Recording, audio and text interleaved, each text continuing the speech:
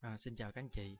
Video này sẽ hướng dẫn các anh chị cách thức sử dụng uh, chức năng hộp thư của à, uh, VNEMR. Uh, à, để uh, để đăng nhập chương trình thì chúng ta sử dụng cái tên tài khoản và mật khẩu đã có. Thì các anh chị thấy rằng sau khi đăng nhập thì chương trình sẽ hiển thị uh, uh, các cửa sổ truyền thống gồm ba cửa sổ, cửa sổ lệnh bên tay trái, cửa sổ chức năng phía trên bên tay phải và cửa sổ chức năng uh, phía dưới bên tay phải thì mặc định thì cửa sổ trên là lịch và cửa sổ dưới sẽ là cái hộp thư nhắn. Và như chúng ta thấy là hộp thư nhắn được hiển thị ngay phía dưới đây tôi xin kéo chúng ta di chuyển cái à, thông tin cửa sổ bằng cách điều chỉnh cái cái thanh điều chỉnh. Và à, với cái à, chức năng này chúng ta dễ dàng à, thấy rằng là cái hộp thư này sẽ được truy xuất dễ dàng đến bằng cách mà nhấn vào hộp thư nhắn. Và đây hộp thư nhắn. Thì à, à, riêng với chương trình à, bình án điện tử thì à, chúng ta có hai cái loại tin nhắn. Tin nhắn thứ nhất à, gọi là cảnh báo. Là một loại tin nhắn mà có có hình thức giống như là một cái câu yêu cầu hoặc câu lệnh. Vì nó gắn với việc là cần phải làm cần phải hoàn thiện và cần phải uh, hoàn thiện trong cái thời gian cho trước. Và loại thứ hai là hộp thư nhắn có chức năng giống như là Gmail, Yahoo Mail của nội bộ chương trình. Thì uh, sự khác biệt của hai này sẽ được uh, diễn tả trong cái video này đầu tiên thì nói về vấn đề uh, cảnh báo. Thì cảnh báo nó sẽ uh, uh, như chúng ta thấy là trên đây tôi nhận được cái thư cảnh báo từ ông quản trị nói rằng là liên quan đến bệnh nhân Lê Anh Tuấn á, thì bệnh nhân cần in hồ sơ gửi bệnh viện. Thì đây cái yêu cầu của ông uh, ông quản trị là yêu cầu tôi phải làm ngay ngày hôm nay. À, ngay ngày hôm nay. Thì đó là cái việc uh, một cái câu lệnh yêu cầu làm thì để thực hiện cái vấn đề này thì chúng ta có thể in hồ sơ, vân vân. Sau khi làm xong, ta bấm nút là đánh dấu đã xong, thì nó sẽ ẩn đi.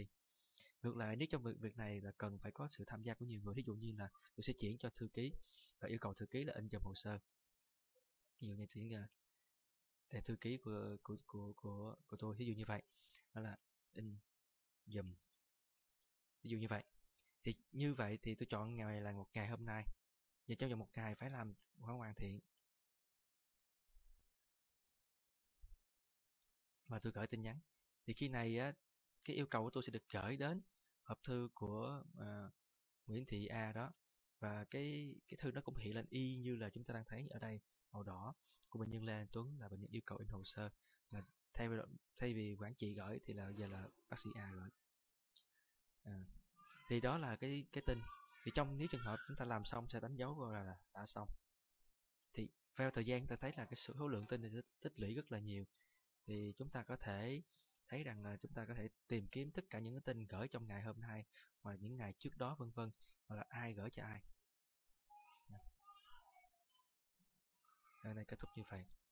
Thì đối với à, đó là tin về cảnh báo.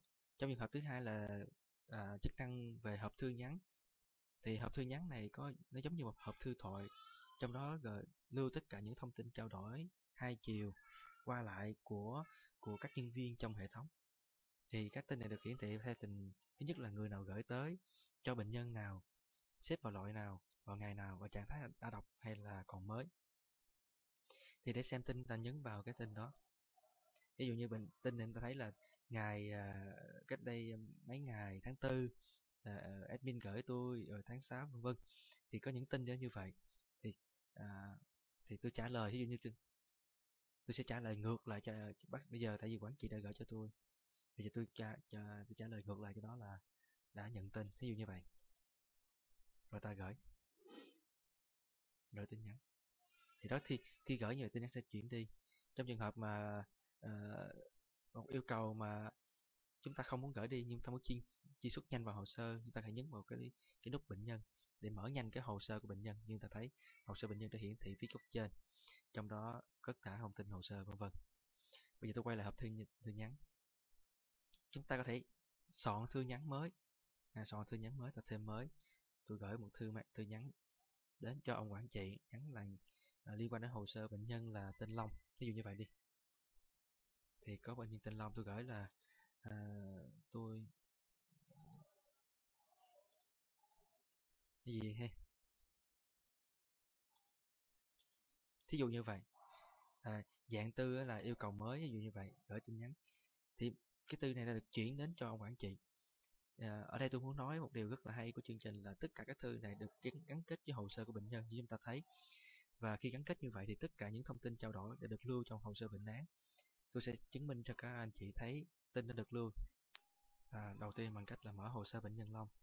Thì khi mở hồ sơ bệnh long chúng ta sẽ thấy hồ sơ hiện lên và chúng ta liếc kê liếc, liếc nhanh qua cái phần mà nội dung ghi chú thì thấy rằng trong phần tập tin đã gửi sẽ có cái tin mà chúng ta vừa mới thiết lập à, trừ bệnh bác sĩ từ chúng ta đến bác sĩ hai.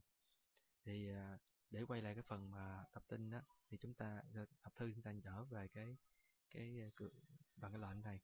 Để chúng ta thấy là cái các thư hiện ra. Bây giờ chúng ta thoát chương trình bằng cách là